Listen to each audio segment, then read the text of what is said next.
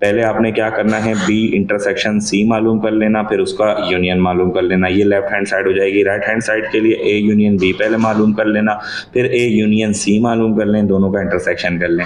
अब यहाँ पर साइड ए क्या कह रहे हैं? नेचुरल नंबर है। बी जो है, वो आपके पास क्या है? प्राइम नंबर्स हैं और सी आपके पास क्या है? होल नंबर्स हैं। तो आपने यही प्रॉपर्टी अप्लाई करनी है। आप देखिएगा, दोनों property of union over intersection फिर इसी तरीके से property of intersection over union अच्छा।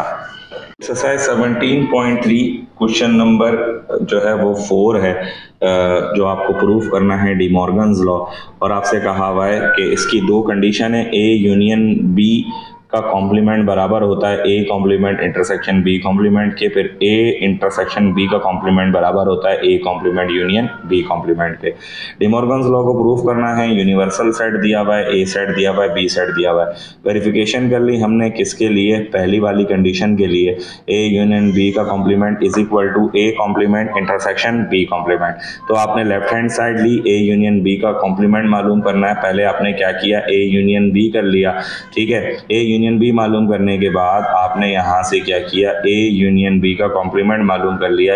आपने यू में से ए यूनियन बी को माइनस किया डिफरेंस लिया तो सेम सेम एलिमेंट काट दिया, जो पहले के डिफरेंट एलिमेंट थे, उनको लिख लिया। फिर आपने राइट हैंड साइड ले ली। यहाँ पर आपने क्या किया? A complement intersection B complement यानी आपने यू में से ए को माइनस किया इंटरसेक्शन यू में से बी को माइनस कर लिया। ठीक है? ए कॉम्प्लीमेंट और बी कॉम्प्लीमेंट जो है, वो दोनों आपने पहले फाइंड आउट किए, दोनों का इंटरसेक्शन कर लिया तो आपने देखा कि फ़र्स्ट जो थी कंडीशन डिमोर्गन्स लॉ की, वो प्रूव हो रही थी। सेकंड कंडीशन भी बहुत आसान A complement A intersection B का होल कॉम्प्लीमेंट बराबर होता है A complement universal B complement के। लेफ़्ट हैंड साइड ली, आपने क्या किया? सबसे पहले लेफ़्ट हैंड साइड लिखी कि भाई ए इंटरसेक्शन बी का होल कॉम्प्लीमेंट यू में से माइनस कर देंगे ए इंटरसेक्शन बी को।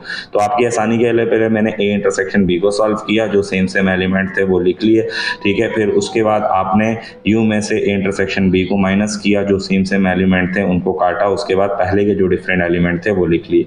राइट हैंड साइड ले ली ए कॉम्प्लीमेंट यूनियन बी का कॉम्प्लीमेंट यानी यू में से ए को माइनस करेंगे, फिर उसका यूनियन कर लेंगे, फिर यू में से बी को माइनस करेंगे। तो आपने ए कॉम्प्लीमेंट पहले मालूम किया, फिर आपने बी कॉम्प्लीमेंट मालूम किया, दोनों का यूनियन कर लिया।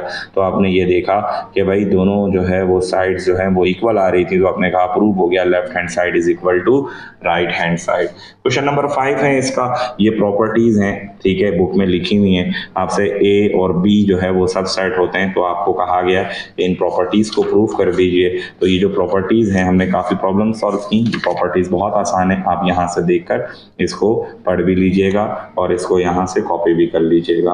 तो आज का ये लेक्चर वाइंड अप करते हैं हम। आपको उम्मीद करता हूँ कि ये एक्सरसाइजेज दोनों समझ आई होंगी। और अगर कोई चीज़ पूछनी हो तो कमेंट सेक्शन में लाजमी पूछ लीजिएगा। अपना बहुत सा ख्याल रखिए। अल्लाह हाफिज़ नासिर